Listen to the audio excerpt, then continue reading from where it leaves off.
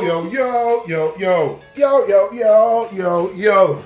What's going on, everyone? It's Kaff from Kaff underscore official Insta, and I'm back with a flu, or maybe it's a cold. I don't know. My voice sounds a little bit husky, so you know, the missus might like that a little bit.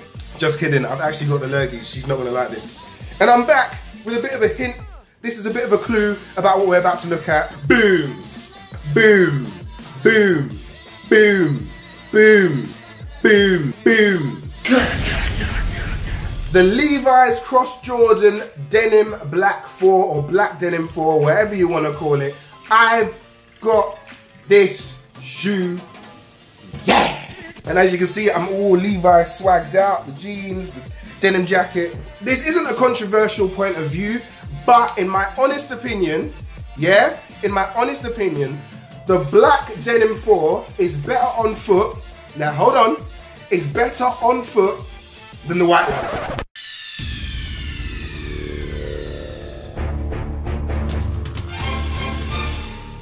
I said it. I bloody said it. The white denim 4s, people are going mad for because they're technically more limited than the black ones. I don't really care. I think the black ones are dope. Wait until you see the on-foot shots later on in the video. I'm telling you, out the box, without a shadow of a doubt, the black denim 4 is better to go straight on foot than the white ones. What you're gonna see of the white ones is a bunch of customizers and other people dye dipping them, fraying them, tearing them, doing all this stuff to make it look just as good as this does on foot. They're gonna try and make it bang more than this bangs, and nothing is banging more this weekend at least than the black denim 4. Let's get a quick look at some of the B-roll. And fresh out the box, you got this amazing card from Levi's and Jordan that just says, Jordan and Levi's are together again, fusing the signature Air Jordan style with Levi's premium denim, baby. These two icons of sport and style reimagine their roots by combining the beauty of the Air Jordan 4 and the authentic heritage of Levi Strauss & Co. Signed Levi's and Jordan. Bang. Getting some bang for your buck there. This shoe feels so premium and if you don't know already, it comes as part of the 10 year anniversary of the original Air Jordan Cross Levi's partnership. Uh, the denim upper and Jordan 4 returns. Now, what's interesting is Nike and Jordan are actively encouraging people to customize the denim range and series. And what it says on the official launch page is scuff it, bleach it, add patches, drip paint, or skip the distressing and rock it straight out the box. Yeah? The black rendition. As you can see, you've got the black denim upper, you've got the gum outsole, you've even got, yeah, you've even got the black denim on the outsole, which I think is dope. My pair already has some a little bit of distressing, which I'm not distressing about. Ha ha ha. Ba-dum boom. And yeah, you've got the black uh, gum sole. Uh, on the underfoot, you've also got some red detailing with the white Jumpman logo.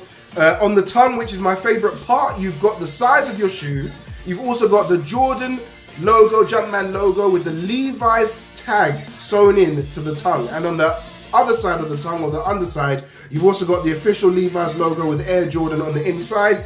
Um, inside, on the inner sole, you've also got the uh, Levi's tag and the Levi's logo. And you've got the traditional, I don't know how they managed to do this, but they executed this perfectly.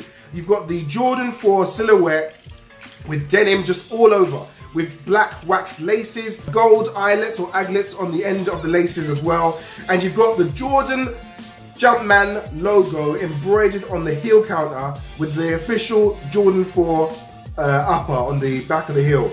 So you know those six, no sorry, those nine uh, bumps that come on the back of most Jordan 4s.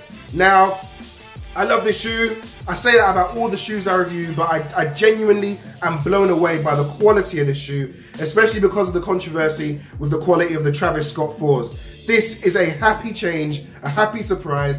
I managed to pick these up for retail, and retail was not cheap, ladies and gentlemen. Retail was £215 if you got it shipped, £210 retail. I got these for retail, paid £210, no discount, no regrets no remorse. Let's go to the on foot shots now. Yeah.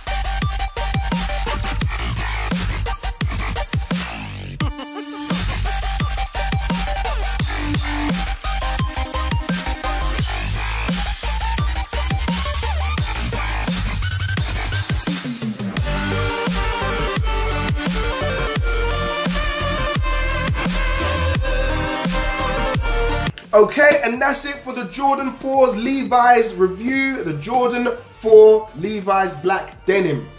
Man, I gotta get used to saying that because I got them. Woohoo! That's it for the review. Hope you like the shoe.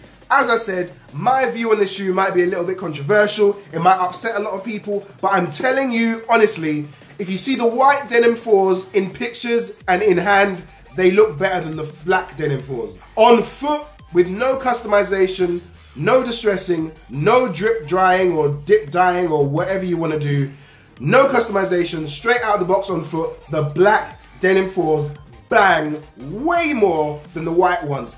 Am I saying that because I haven't got the white denims and I've got the black ones? Maybe there's a chance of that, but I'm not salty about that and I had potentially, I did have the option to get either or, and I chose the black because I think the black ones bang. Yeah? That's it from me. If you like the video, if you like the review, share, rate, subscribe. Don't forget to follow me on Instagram at Kaff underscore official underscore Insta. Huge shout out to the Offspring community. Passed by Offspring Selfridges on pickup day for the UNCs. I haven't got them, disclaimer, I haven't got the UNCs. Uh, the UNCs, the Yeezy Butters, and the denim range. I met a lot of cool people there.